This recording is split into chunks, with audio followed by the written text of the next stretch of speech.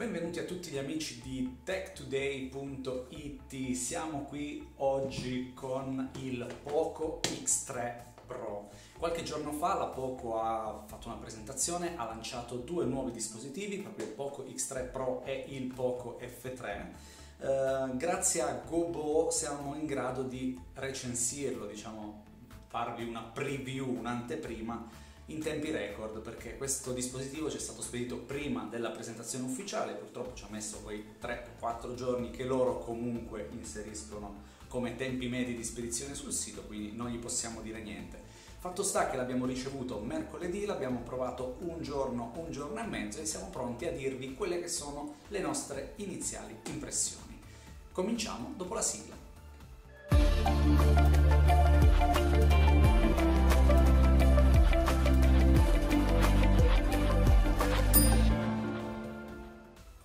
Vi ricordo di mettere like al video per contribuire alla crescita del canale, premere tutti i pulsantini che trovate qua sotto, compresa la campanellina per essere, rimanere aggiornati su eventuali nuove recensioni, nuovi video, nuovi, eh, nuove novità, chiamiamole così, all'interno del canale techtoday.it. Gobo abbiamo detto è stato molto veloce, ci ha mandato questi dispositivi, oggi ci concentriamo sul Poco X3 Pro perché è un telefono che ha ehm, ridisegnato un pochettino il concetto di low cost.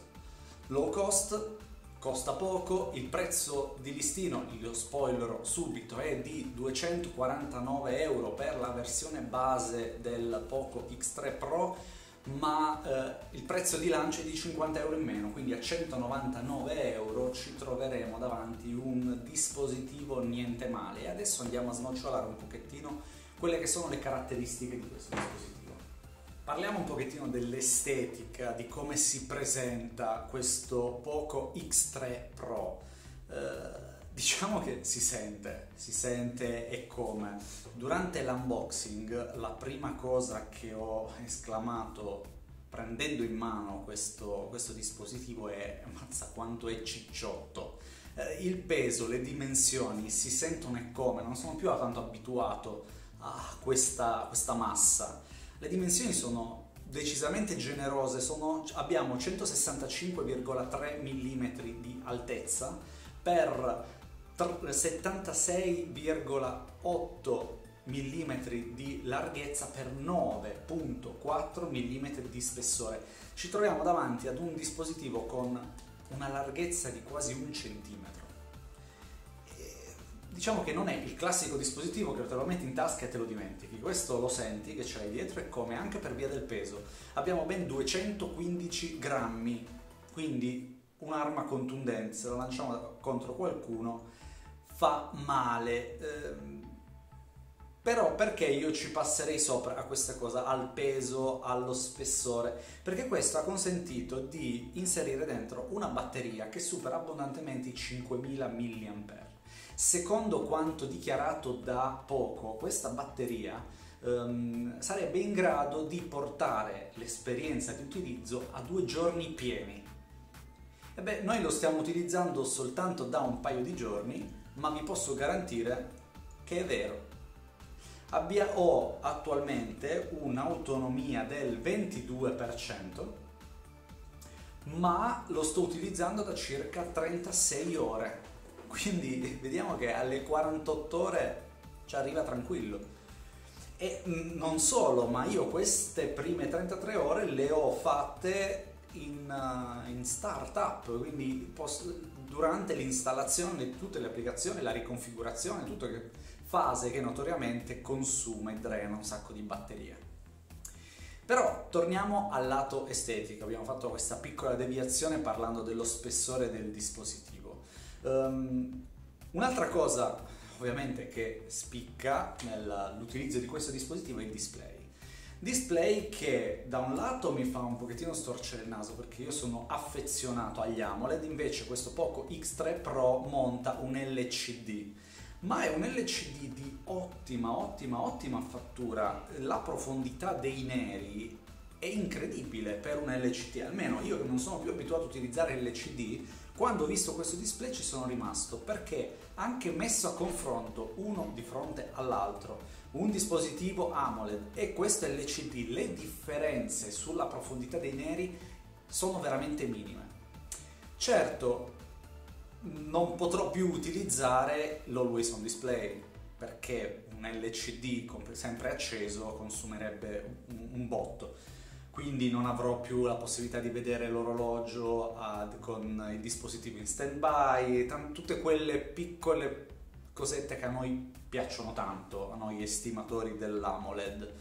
Però tralasciando la parte utilizzo dell'Always On Display in stand by, tutto il resto niente da dire. Questo display è veramente straordinario. È un dot display, significa che noi abbiamo il forellino qui in alto. Anche qui gusto estetico, io il forellino eh, non a me il forellino non dispiace, però lo preferisco di solito laterale, o a destra o a sinistra. Centrale mi fa storcere un pochettino il naso, però preferisco di gran lunga il forellino alla goccia e o alla gobba ogni riferimento è puramente casuale.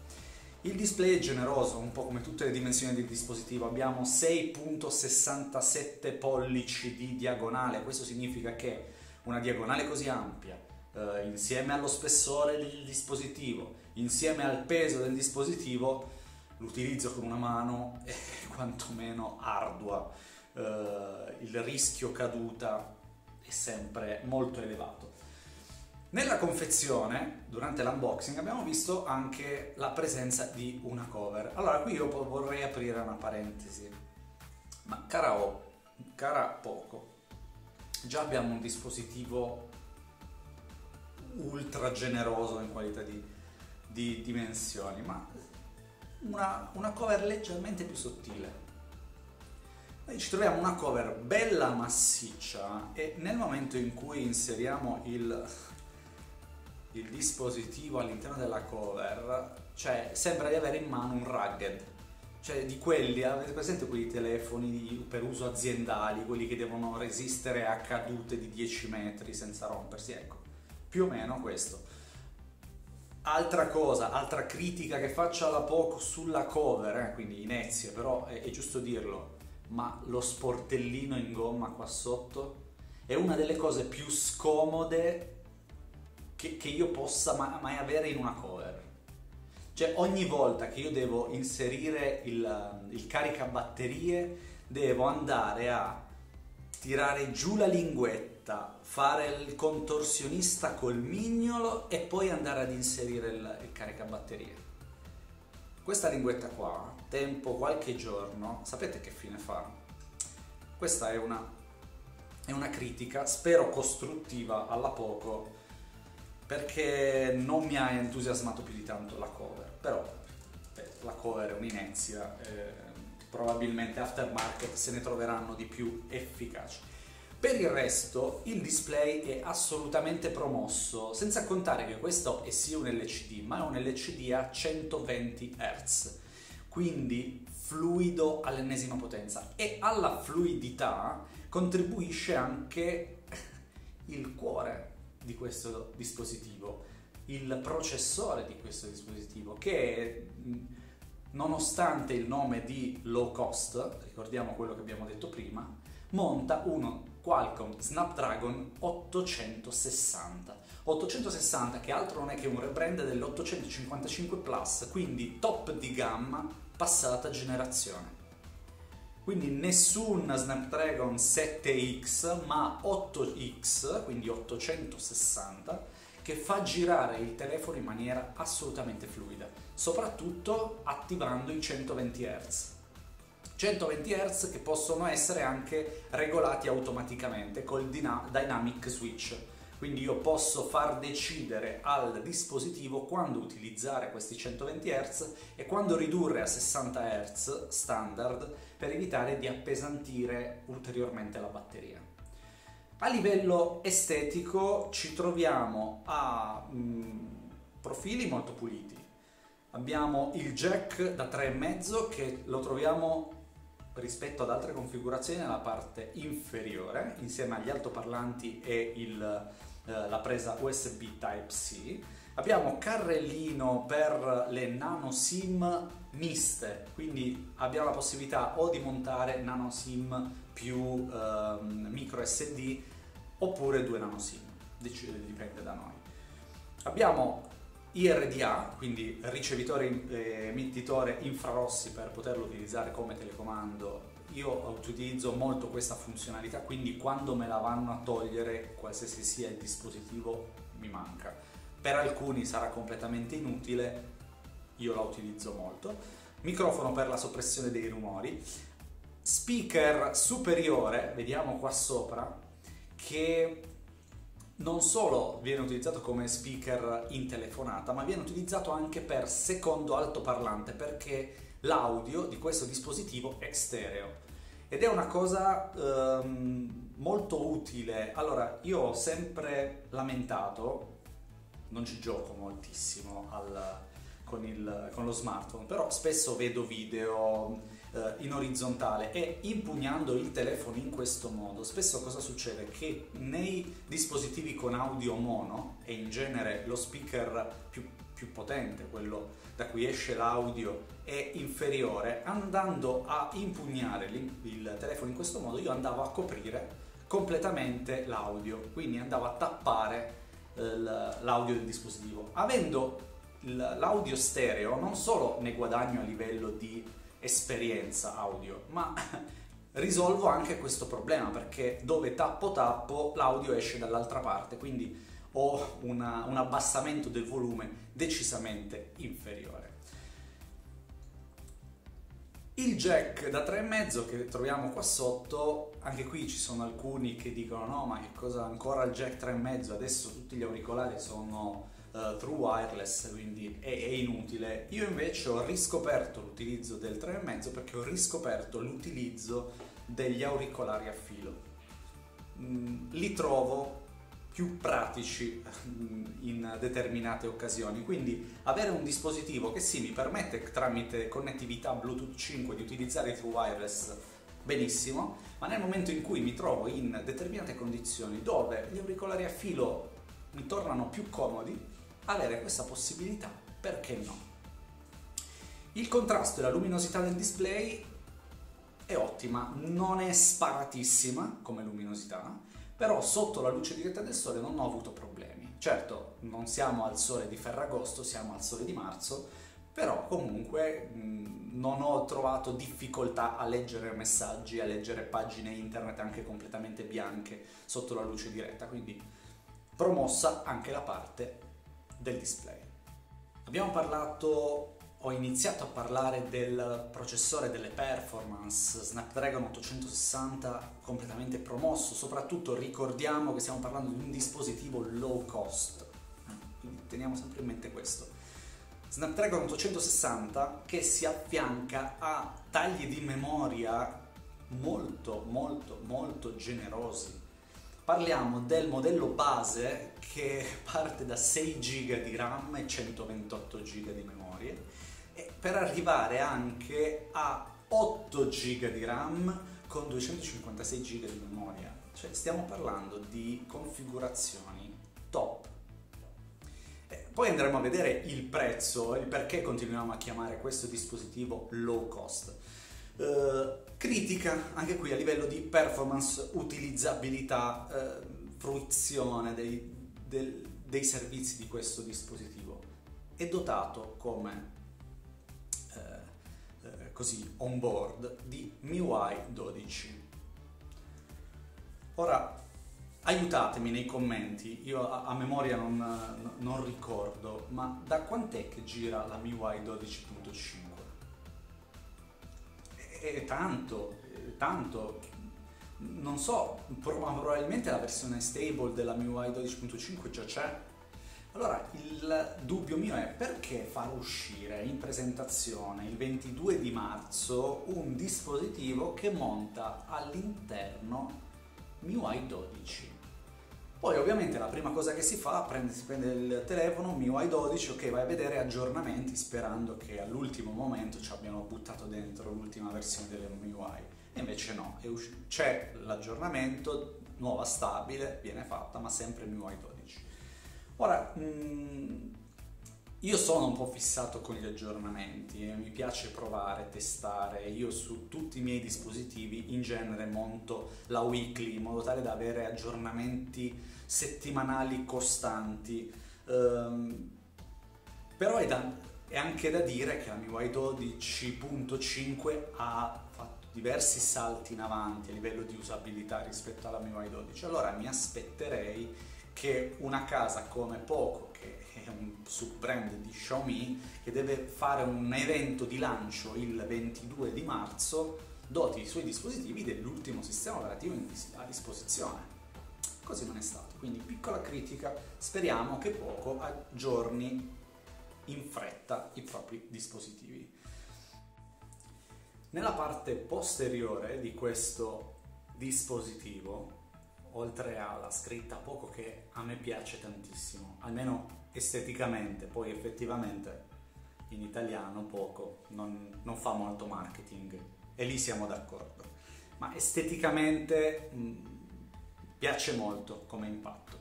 E nella parte qui a sinistra eh, vediamo tutto il comparto fotografico e di fotocamere qui ce n'è veramente tante perché abbiamo quella centrale da 48 megapixel 48 megapixel con 1.6 di focale, quindi con anche una sensibilità alla luce notturna abbastanza elevata, con altre tre fotocamere, il grandangolo, la macro e in più una fotocamera da 2 megapixel per la rilevazione della profondità di campo, più un flash dual tone che ovviamente ci serve per effettuare le foto al buio. Prestazioni fotografiche di questo dispositivo qui rientriamo un po' nel discorso low cost. Non sono male le foto, ho provato a fare diversi scatti, ehm, alcuni molto molto belli in condizioni di luce ideali, alcuni molto meno belli in condizioni di luce un pochettino più estrema, quindi ad esempio ehm, soggetti contro luce piuttosto che soggetti in penombra o al buio. Mm, ci sono diverse modalità notte, modalità che possono essere utilizzate per aumentare un pochettino la resa di, del comparto fotografico, che però è un comparto fotografico di tutto rispetto ma medio-basso, quindi se decidiamo di utilizzare, di acquistare questo Poco X3 Pro, non è per utilizzarlo come camera phone, ma per avere un telefono che ha anche un discreto comparto fotografico per fare uno scatto quando ne avremo bisogno o fare la foto dei ricordi delle vacanze. Okay? Quindi non, non abbiamo il, uh, il camera phone dei nostri sogni. Però, ripeto, siamo sempre nell'ordine delle idee del low cost. Cos'altro dire di questo Poco X3 Pro? A me è piaciuto tantissimo. Certo, lo utilizzo solo da un giorno, un giorno e mezzo, quindi non è che forse molti altarini li devo ancora scoprire, però sono rimasto favorevolmente colpito, prima di tutto dall'ottima qualità del display. Non me l'aspettavo, appena mi è arrivato, cioè già sapendo dalla presentazione che non si trattava di un AMOLED ma di un LCD, già ero prevenuto. E invece mi sono dovuto ricredere perché al di là della funzionalità always on display io mi sono trovato veramente veramente bene eh, ottima, ottima, ottima la batteria. Eh, spesso vengono messe slide che non c'entrano poi nulla con la vita reale. Allora la slide, due giorni interi di lavoro, anche lì sono da prendere con le pinze. Come vi ho detto e come vi farò vedere a video il, il grafico della batteria ci stanno in pieno, anzi molto probabilmente con determinati accorgimenti si riuscirebbe a fare anche di più delle 48 ore di, di batteria. In questo momento mi è arrivato il messaggio vuoi attivare il risparmio energetico? Siamo al 19% dopo quasi 40 ore di, di utilizzo, quindi assolutamente promossa anche la batteria.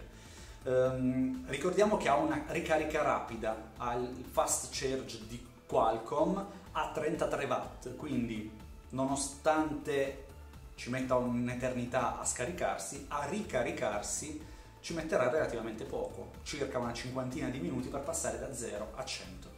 Quindi comparto batterie, batteria performance con lo Snapdragon 860 e il display a 120 Hz e display a livello di luminosità, colori, contrasto assolutamente promossa. Che cosa c'è da bocciare? Da bocciare forse un po' pesante, un po' ingombrante, cover assolutamente da bocciare, ma anche qui le dimensioni o vuoi la, la, batteria capiente o vuoi il cellulare sottile, cioè la botte piena, la moglie ubriaca, eh, ad oggi non è possibile.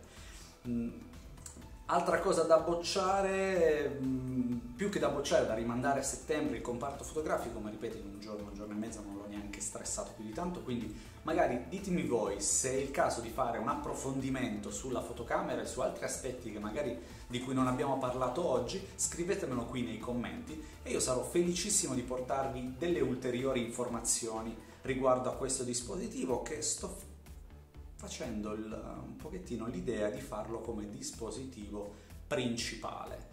Non lo so, ci sto pensando. Sarà il degno successore del mio Poco F2 Pro? Vediamo. Scrivetemelo qui sotto sui commenti. Intanto vi saluto da Alex. Alla prossima video recensione che vi accenno già sarà del Poco F3 presentato insieme a questo gioiellino. Ciao!